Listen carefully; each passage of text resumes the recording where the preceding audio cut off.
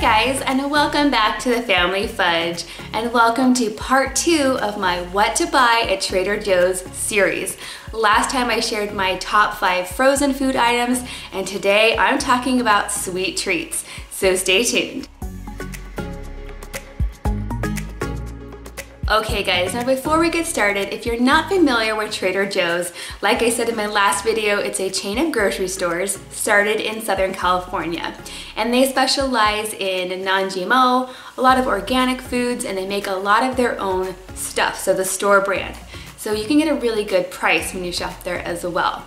Now they do have a lot of healthy foods there, but they also have a lot of sweet treats, and I'm talking a lot. So today I'm just gonna share with you my top five. And it was kind of hard to narrow it down. And remember, these are sweet treats. Everything is fine in moderation, right? Okay guys, now these are definitely my top five sweet treats, but I'm gonna go ahead and show you my absolute most favorite thing last. In the number five spot, I have the Crunchy Cinnamon Squares cereal. Now this is pretty much just like Cinnamon Toast Crunch. And honestly, I don't think that because they're from Trader Joe's that they're any healthier at all. They're definitely full of sugar, which makes it a sweet treat, if you ask me. These crunchy squares are a mixture of whole wheat and rice, and each one has a little sprinkling of cinnamon and sugar. They are really good for breakfast or even dessert or a midnight snack, but who's judging, right? This is definitely one of my kids' favorite as well, although we try not to get it too often. This cereal was $2.99. Next up, I have another breakfast item. These are the toasted coconut pancakes. Well, it's actually a pancake mix, and they actually have a wide variety of mixes like muffin mixes, scone mixes, pancake mixes of all different kinds, and they're all really good, but I happen to be a big fan of the coconut one.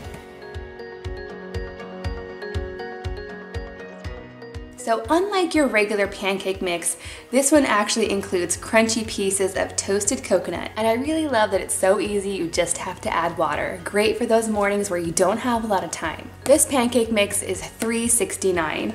Next up, I have some ice cream. Trader Joe's has a lot of different varieties of ice cream, but I really like the speculoos cookie butter version. Now, if you've never had cookie butter, it tastes a lot like gingerbread cookies, but sweeter. Not so sharp on the ginger flavor.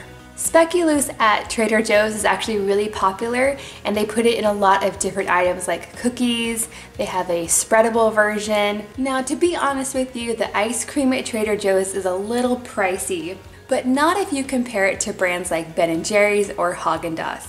This one pint size was $4.99. Next up I have some chocolate and you can probably tell I've already gotten into these. Now Trader Joe's has a huge variety of chocolates in little containers like this, like everything you could think of. They have nuts, fruit, but I really like the chocolate coconut almond. So think about like an almond joy type candy, and that's what this tastes like. These would be perfect for sneaking into a movie and sharing with your significant other. They're really good. And now for my number one most favorite sweet treat from Trader Joe's. And you might be surprised because it's just a vanilla sandwich cookie. I know that seems pretty basic, but hear me out. These are definitely way better than a vanilla Oreo. Now at Trader Joe's, you can actually get several different flavors of the Joe-Joe's. You can get the regular chocolate, I've even seen a coffee flavored one, a green tea flavored one, and at Christmas time they have a candy cane flavored one. Oh, and they also have a gluten-free one as well. But my favorite are definitely these vanilla ones. And what makes these better than Oreos is that it's made with real vanilla bean speckles. So if you open up the cookie, you can actually see all the pieces of real vanilla and that really makes a big difference. And I also taste a little bit of salt in there and sort of a brown butter flavor. So it's a sweet and salty with a little bit of a caramel flavor as well. They are so good. A serving size is only two cookies and it's 130 calories. So it's important for me to have self-control when we have these in the house. Okay friends, thank you so much for joining me today. Now let me know in the comments down below if you have a favorite sweet treat from Trader Joe's. Let me know what it is because I'd love to try it on my next trip.